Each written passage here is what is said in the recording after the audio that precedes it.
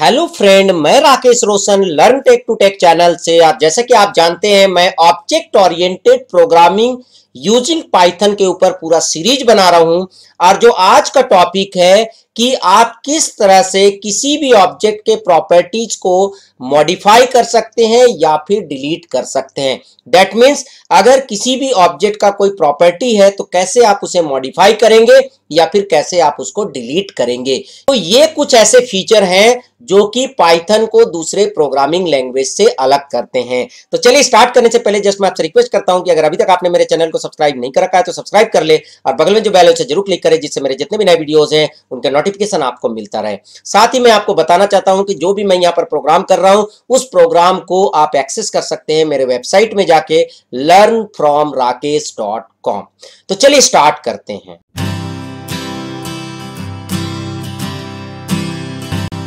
तो यहाँ पर आप देख सकते हैं, मैंने एक प्रोग्राम ऑलरेडी लिख रखा है, जिसको कि मैंने पिछले वीडियो में यूज़ किया था।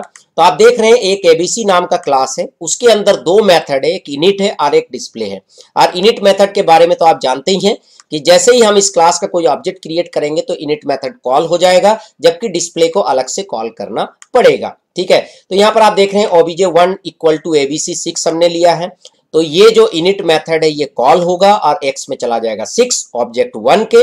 उसी तरह object two equal to ABC ten लिया है तो उसी तरह इनिट मेथड कॉल होगा और इसके एक्स बेस टेन चला जाएगा मतलब ओबीजे टू के एक्स में टेन चला जाएगा। और फिर दोनों को हम डिस्प्ले कर रहे हैं। अब इस वीडियो में मैं आपको बताऊँगा कि अगर किसी ऑब्जेक्ट के किसी प्रॉपर्टीज़ को अगर आपको चेंज करना है मॉडिफाई करना है तो कैसे करेंगे? जैसे यहाँ पर आपने ओबीजे वन के एक्स में आपने सिक्स भेजा है। अब मैं चाहता हूँ इसको मॉडिफाई करना।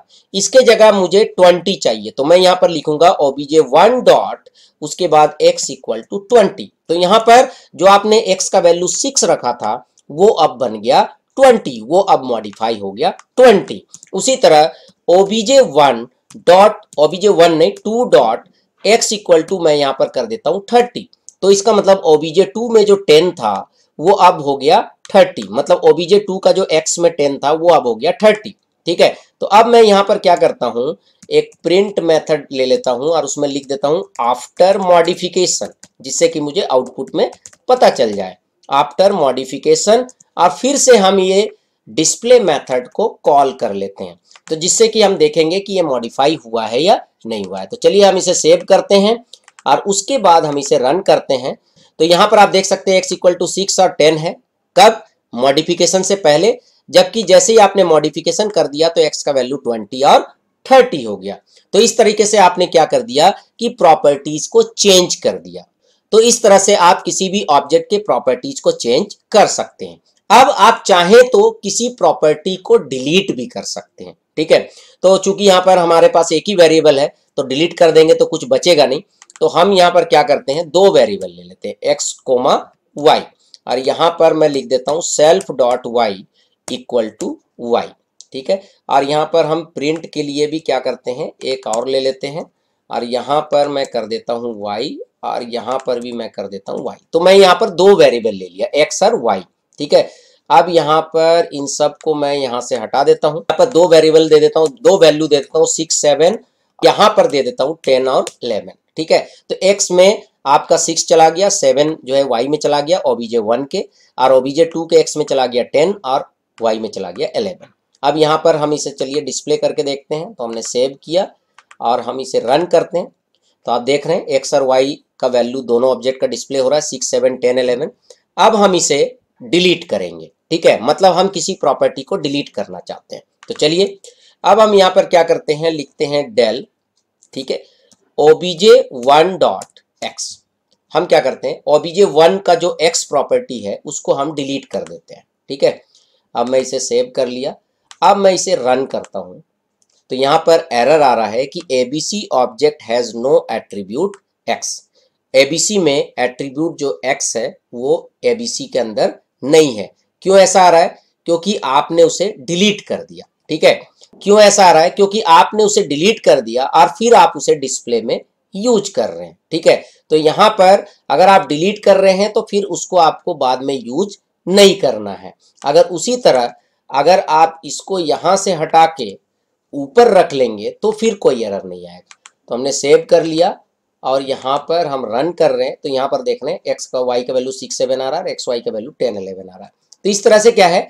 कि आप यूज़ करने के बाद किसी भी प्रॉपर्टी को आप डिलीट कर सकते हैं, जिससे कि आपका मेमोरी फ्री हो जाए। ये एक यूनिक फीचर है पाइथन में, जहाँ पर किसी भी प्रॉपर्टी को यूज़ करने के बाद आप उसे डिलीट कर सकते हैं। इवन आप चाहे तो पूरा का पूरा ऑब्जेक्ट भी डिलीट कर सकते हैं। जैसे डेल ओबीजे वन करते हैं तो ये पूरा का पूरा ऑब्जेक्ट ही डिलीट हो जाएगा। तो आप देखेंगे आउटपुट आएगा, कोई प्रॉब्लम नहीं है।